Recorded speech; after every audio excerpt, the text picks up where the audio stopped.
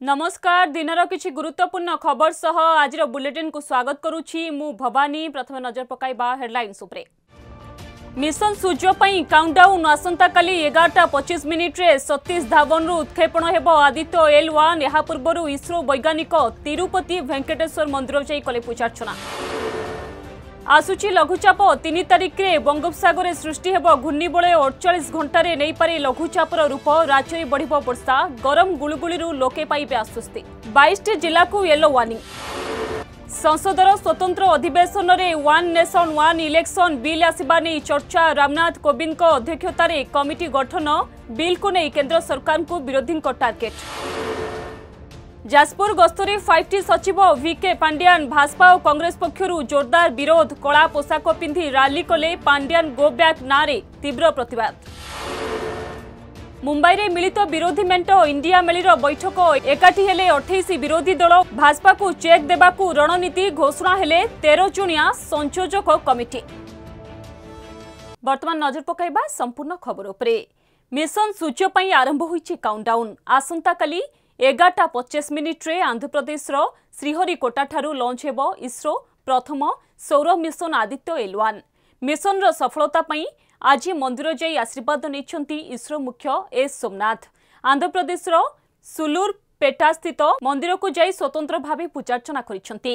Aditya L one mission ସହିତ ISRO ମହାକାଶଯାନକୁ ପୃଥିବୀଠାରୁ ପ୍ରାୟ ଏକ ଦଶମିକ ପାଞ୍ଚ ମିଲିୟନ କିଲୋମିଟର ଦୂରରେ ଥିବା ସୂର୍ଯ୍ୟ ପୃଥିବୀ ବ୍ୟବସ୍ଥାରେ ଲାଗ୍ରେଞ୍ଜ ପଏଣ୍ଟ ୱାନ୍ ବା ଏଲ୍ ୱାନ୍ ଚାରିପାଖରେ ଏକ ହାଲୋ କକ୍ଷପଥ ମଧ୍ୟରେ ରଖିବାକୁ ଲକ୍ଷ୍ୟ ରଖିଛି। ସ୍ପେସ୍ ଏଜେନ୍ସି କହିଛି ମିଶନ ମାଧ୍ୟମରେ ଇସ୍ରୋ ପ୍ରକୃତ ସମୟରେ ମହାକାଶ ପାଣିପାଗ ଉପରେ ସୌର କାର୍ଯ୍ୟକଳାପର ପ୍ରଭାବ ଅଧ୍ୟୟନ କରିବ। ଉତ୍କ୍ଷେପଣର ଠିକ୍ ଶହେ ପଚିଶ ଦିନ ପରେ ଏହା ଏହାର ବିନ୍ଦୁ ଏଲ୍ ୱାନ୍ରେ ପହଞ୍ଚିବ। ଏହି ସ୍ଥାନରେ ପହଞ୍ଚିବା ପରେ ଆଦିତ୍ୟ ଏଲ୍ ୱାନ୍ ଗୁରୁତ୍ୱପୂର୍ଣ୍ଣ ତଥ୍ୟ ପଠାଇବା ଆରମ୍ଭ କରିବ। One nation one election election पनि आगको बढ्छ मोदी सरकार एपि गठन हुन्छ कमिटी पूर्वतन राष्ट्रपति रामनाथ कोविंद कोविन्दको अध्यक्षतार गठित कमिटी कमिटी कमिटर अन्य के रे जारी विज्ञप्ति आसंता अठर रु बिश सेप्टेम्बर मध्य संसद र स्वतन्त्र अधिवेशन घोषणापर केन्द्र सरकार यो पदक्षेप विगत कि वर्ष होला प्रधानमंत्री नरेन्द्र मोदी लोकसभा विधानसभा निर्वाचन ଏକାସଙ୍ଗେ କରିବା ନେଇ ମତ ଦେଇ ଆସୁଛନ୍ତି। ଏଥିପାଇଁ ପୂର୍ବତନ ରାଷ୍ଟ୍ରପତି ରାମନାଥ କୋବିନ୍ଦଙ୍କୁ ଦିଆଯାଇଛି ବଡ଼ ଦାୟିତ୍ୱ। ସେପଟେ ୱାନ୍ ନେସନ୍ ୱାନ୍ ଇଲେକ୍ସନ୍ ନୀତି ଲାଗୁ ହେଲେ ସ୍ୱାଧୀନତା ହରାଇବ ଗଣତନ୍ତ୍ର। ଏଭଳି କହି କେନ୍ଦ୍ରକୁ ଟାର୍ଗେଟ୍ କରିଛନ୍ତି ବିରୋଧୀ। ଆସନ୍ତା ଅଠରରୁ ବାଇଶ ତାରିଖ ଯାଏଁ ହେବାକୁ ଥିବା ସଂସଦର ସ୍ୱତନ୍ତ୍ର ଅଧିବେଶନରେ one nation one election bill ଆସିପାରେ। ଏହାସହ ଏକ ନାଗରିକ ସଂହିତା ମହିଳା ସଂରକ୍ଷଣ ବିଲ୍ ମଧ୍ୟ ଆଣିବାର ସମ୍ଭାବନା ରହିଛି।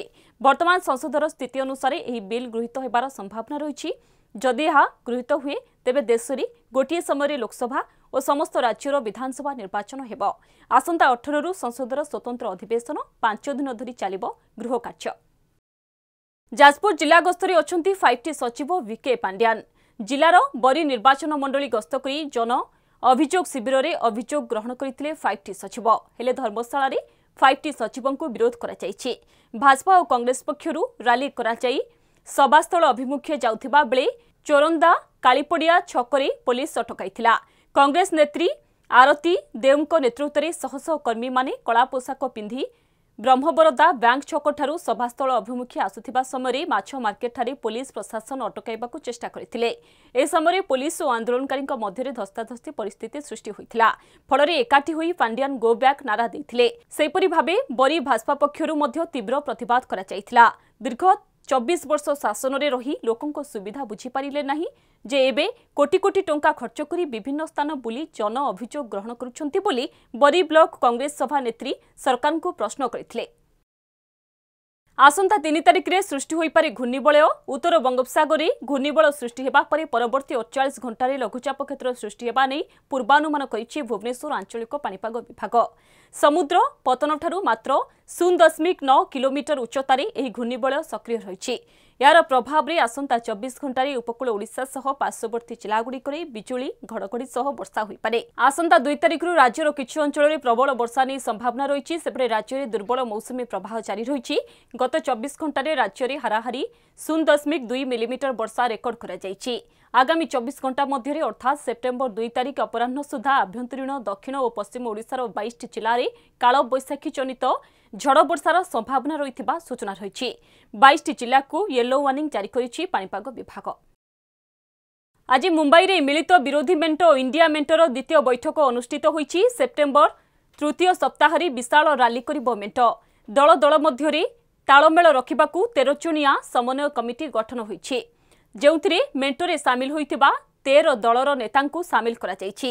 କଂଗ୍ରେସରୁ କେସି ବେଣୁଗୋପାଳ ଏନ୍ସିପିରୁ ଶରଦ ପାୱାର ଆର୍ଜେଡିରୁ ତେଜସ୍ୱୀ ଯାଦବ ନ୍ୟାସନାଲ କନଫରେନ୍ସରୁ ଓମାର ଅବଦୁଲ୍ଲା ପିଡିପିରୁ ମେହବୁବା ମୁଫ୍ତି ଡିଏମ୍କେରୁ ଏମ୍କେ ଷ୍ଟାଲିନ୍ ଶିବସେନା ଉଦ୍ଧବ ଗୋଷ୍ଠୀରୁ ସଞ୍ଜୟ ରାଉତ ଜେଡିୟୁରୁ ଲଲନ ସିଂ ଆମ୍ ଆଦମୀ ପାର୍ଟିରୁ ରାଘବ ଚଢା ঝাড়খণ্ড মুক্তি মোর্চার হেমন্ত সোরেন সমাজবাদী পার্টির জাভেদ খান এপরি করে দলরে মতভেদ আশঙ্কা এড়াইবা প্রয়াস হয়েছে সম হয়েছে আজর বুলেটিন এইটি রক্ষা অধিক খবর login করতু W W W dot Dharitri dot com নমস্কার